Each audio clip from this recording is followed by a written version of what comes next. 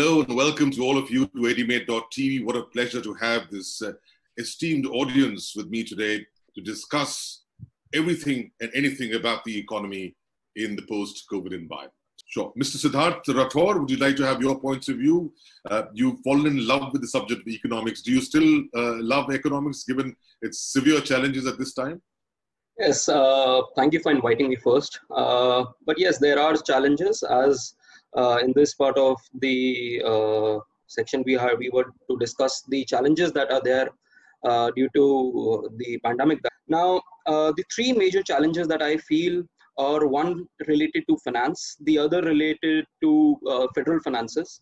Uh, the second is regarding manufacturing, and the third is regarding the socio-economic development.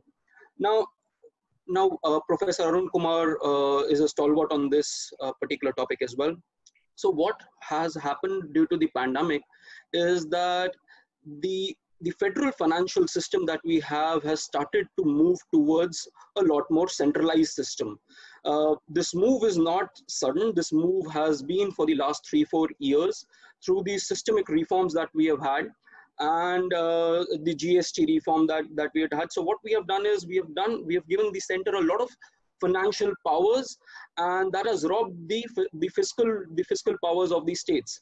So what this pandemic has thrown out is that now the states are becoming more dependent on the center for its finances and if you see the yield curves of states borrowing uh, recently kerala borrowed at around 9% uh, from, uh, from the bonds and uh, even after the relaxation of the FRBM for states, uh, the quantum of borrowing that the state governments can uh, can do is, is quite minimal. And because of the GST, because GST brings about a lot of centralization, that has strained the state finances. However, in the in the part of opportunities, I'll talk about how there are wonderful opportunities available with states, which they can probably use uh, later on. Now, the second issue that I wanted to discuss is regarding manufacturing. And if we see that from 1989 onwards, in 1989, the share of manufacturing in the Indian economy was somewhere around 16%. And today we stand in 2020, this, is, this share is again around 17%. So which shows that there's complete stagnancy in the manufacturing uh, sector in the, in the country. And uh, to that effect, what we need to do, the crisis relates to both the hard infrastructure, the soft infrastructure, as well as the systemic uh, the the uh, systemic reforms that we need to make uh, towards the labor market as well as the credit market we'll talk about more about the labor reforms that the government has done. And the third major issue is that of the socio-economic development.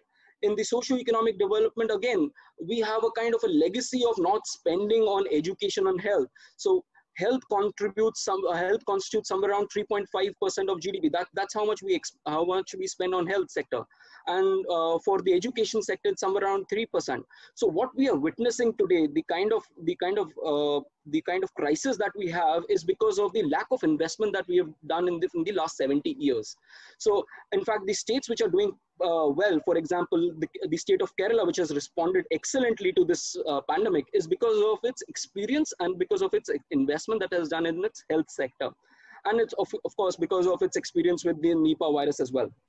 Now again, there's one point of clarification uh, and uh, an addition that I wanted to make to both um, Ali's point as well as Professor Arun's point.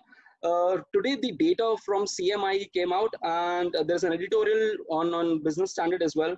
So the employment figures are back to the pre-COVID level.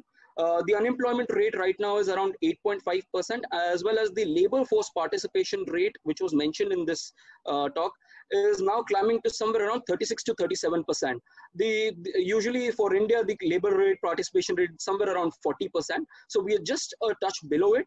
But uh, this is a piece of good news that has come up today that uh, the employment, at least in the employment sector, uh, the unemployment is going down. Siddharth Rathore, uh, your uh, your solutions and opportunities. Sure, sir. So uh, I want to bring out a some some statistics uh, and share some statistics with you. Uh, the first is regarding the uh, there's a paper published by uh, Lucas Chancel, and which said that India's top one percent of people have come have command of over uh, top the richest uh, one has command over 21 percent of India's overall income. So you see the kind of inequality that that is prevailing in India is actually the same which was prevailing in 1921. So in 1921 as well, the top uh, 1% was, was commanding 21% of resources, which essentially shows the kind of uh, tax system that we have presently in India. Now, the problem that the, the problems when I was discussing the problems I mentioned the federal finances. Now, here lies a solution whereby the country needs to make innovative changes in its tax system, especially at the state level as well as the local level. Now, the problem with the overall tax system is that the states are overly reliant over the center and the state governments are not willing to share their power with the local governments.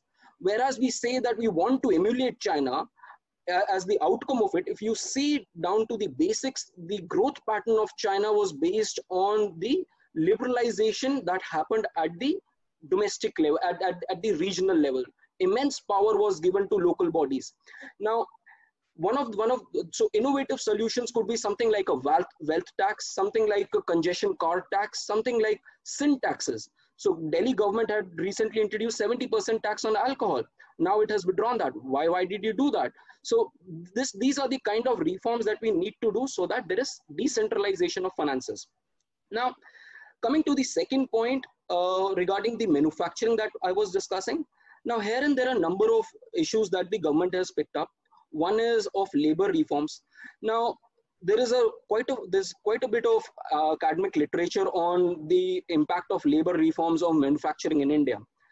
However, what the three states have done, states of UP, uh, Gujarat, and MP, what they've done is they have taken they've taken and whitewashed their entire labor laws and they've, so to say, thrown out the baby along with the bathwater. Now, what we need to do is balance the needs of both the labor as well as those of the manufacturers. So, manufacturers, majorly the MSMEs, have an issue of compliance with the taxation system.